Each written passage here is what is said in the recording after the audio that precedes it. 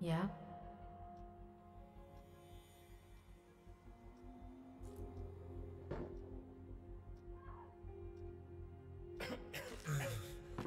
hey.